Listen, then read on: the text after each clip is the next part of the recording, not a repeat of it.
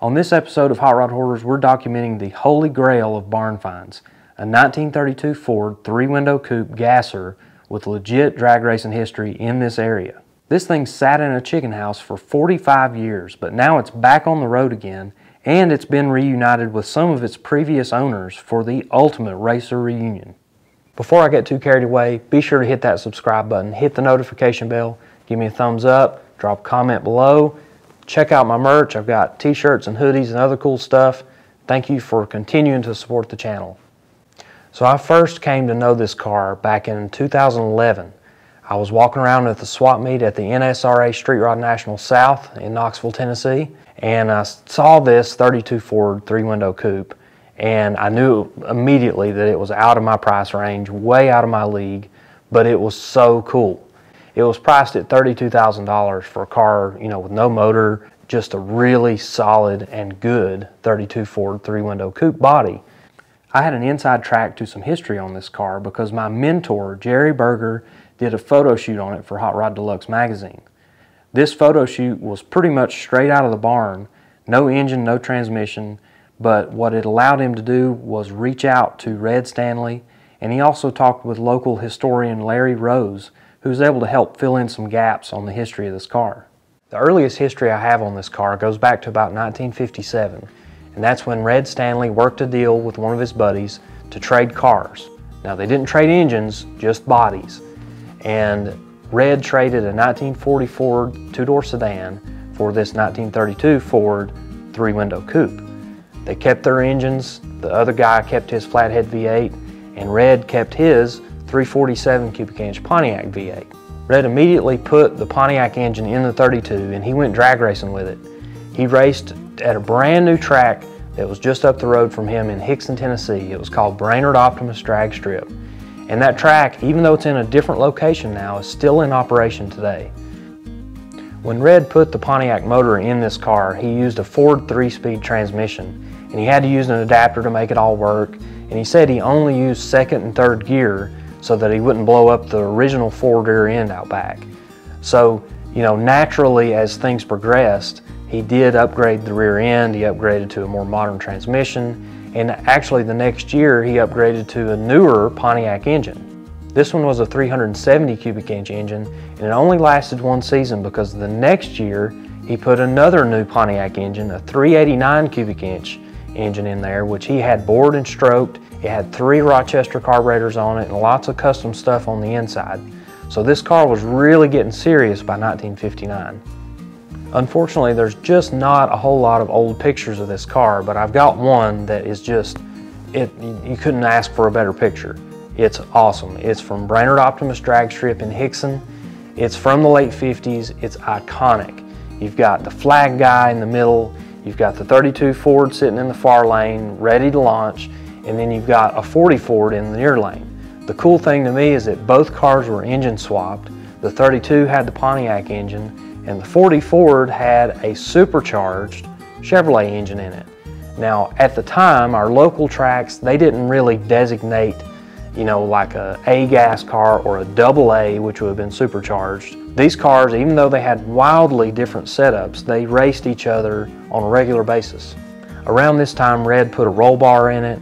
He cut out the insides of the doors. You can see the rough torch cut marks. Just trying to cut weight out of this thing, trying to make it light trying to make it a little bit safer and trying to make it competitive because the car was running in pretty much the top category at the time. It was A gas. So, you know, he had a big engine, it was a lightweight car. He had to really tune this thing to make it competitive against cars that were running, you know, a lot wilder combinations. As Red was getting more serious with the car, he made some suspension changes. He made the car sit a little higher in the front by just basically putting a block in there to, to raise the ride height. Then for the rear, he put these really long ladder bars that were made out of galvanized steel. They went all the way up to the wishbone mounts on the front end. So basically, the front and rear suspension mounting points were off of the same bracket. Really crazy setup, but it seemed to work for the car. I mean, these things were just experiments on wheels. You just had to try stuff until it worked. Red ran the car locally at tracks in Hixson, Tennessee, Harriman, Loudon, Maryville, but he did make a long haul one time. This was in the summer of 1959. He went to Chester, South Carolina to a national event. And the car won its class. I mean, pretty awesome stuff for a local guy to make a big long haul and to come back with a trophy. Fast forward two years to 1961 and Robert Nance takes over the car.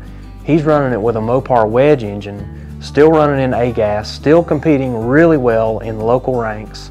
Red Stanley and Robert Nance were racing partners for a few years after the 32 Ford exchange. Red actually drove for Robert. He drove a Henry J, he drove a 40 Willys Coupe, he drove an Anglia, all of them gas class cars, all of them very successful. Around this time is when the car got a paint job. You'll notice in the old pictures that it's black, now it's white. Well, that happened in the early 60s. The car just keeps evolving and changing and even changing owners through the years. So eventually a guy named Leslie Anderson bought the car. He put a Ford motor in it, a 427, continued running in A-gas, continued just tweaking on the setup year after year, but it eventually was retired in 1967. That was the last that this car raced. It was the last that this car was even ever seen. That brings us to the modern era of this car's history. David Turner is the guy who bought the car from Leslie Anderson. David ended up selling it. The car went out west. It got a Buick nailhead engine. It got magnesium wheels. The, the guy got it running and driving, fixed a few things on it, and sold it. Went back across the country to a guy in Virginia. His name is Al Castine. And what Al did was he rounded up all the previous owners, all those guys like Red Stanley, Leslie Anderson, brought them together to Ringgold, Georgia to check out the car, swap stories, and just hang out for a little bit. And I got to be a part of that reunion as well. I took pictures and got to hang out and hear some of these stories and hear some of the tales about this car. And that's what makes it cool to me is that not only is it a car that got found in a barn and got, you know, brought back out into the light of day again, the car's got history and we know it way back to 1957. You know, this thing raced for 10 years under various engines and owners and configurations right here in the Chattanooga, Tennessee area, and the car lives on today.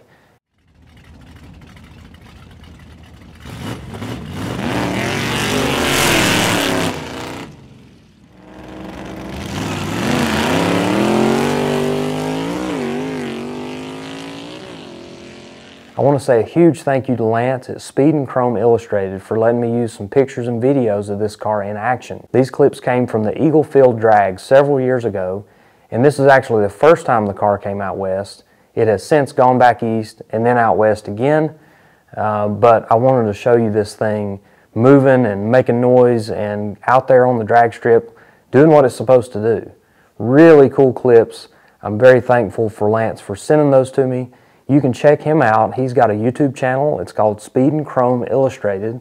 He's got a Facebook page, Instagram page, be sure to subscribe to his channel for more old school hot rod coverage. I've enjoyed following along with this car and kind of seeing its journey as it goes across the country and back and forth.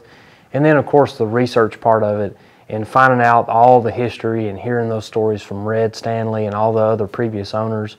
It's been a really fun experience and I hope you've enjoyed watching it. I love doing this type of stuff. I hope to keep doing it each and every week here on the channel. Thank you for watching.